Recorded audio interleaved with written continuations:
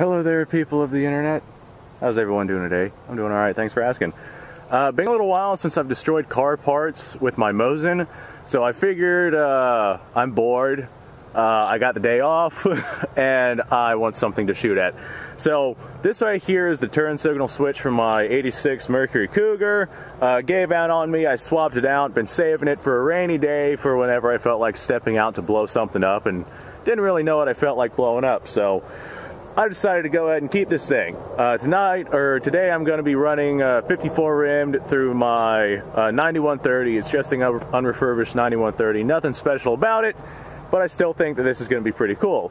I'm running ball ammunition, just full metal jackets, so I don't think we're going to see anything too terribly crazy, but I still think it's going to be neat to watch this thing fly around as it's hit with a bunch of lead.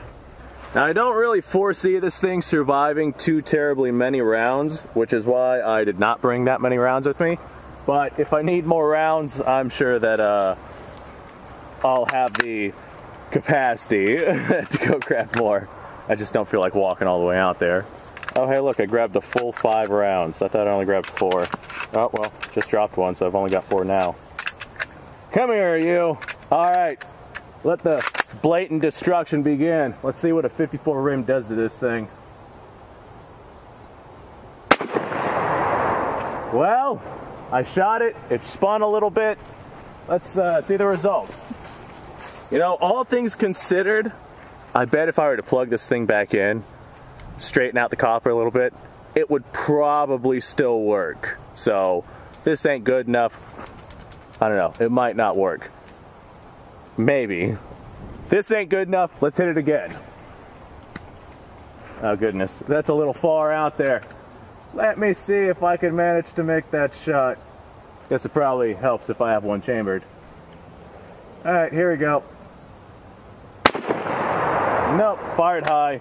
Uh, Mosin's fire a little bit high uh, from their aim point, and I'm not entirely sure. Well, I wasn't sure where to aim with this thing at this distance. Guess now I know. We go.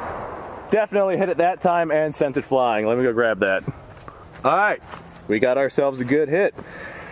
I'm not sure if that's the entry or the exit wound, but the bullet passed through this hole and passed through this hole right here. My bet is that maybe we managed to get the round right inside this hole and it just came out right there, but I'm not certain.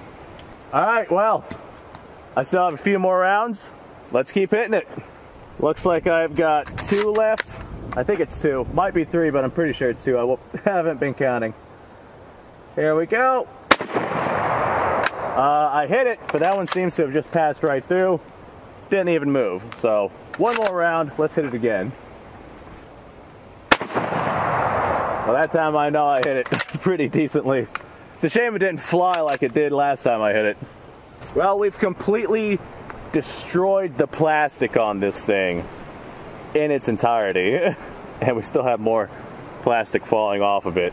Uh, yeah, I'm to go ahead and say that this probably will not work at this point. But it was still fun blowing up. Uh, um, and I have no idea why it broke in the first place. It's a little too destroyed now for me to be able to tell that.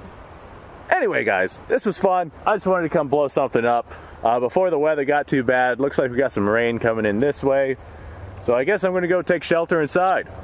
Thanks for watching.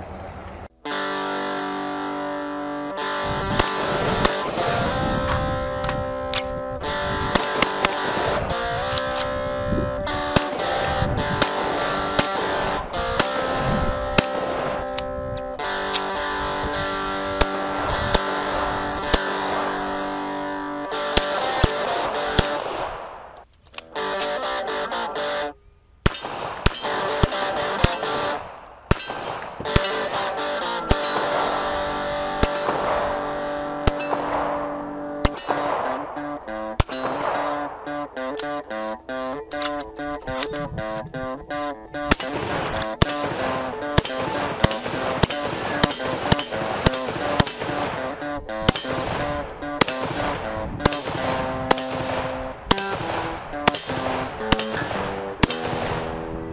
a little while since I've done this.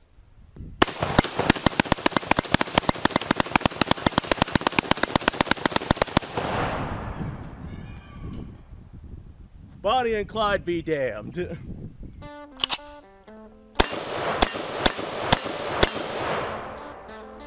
It's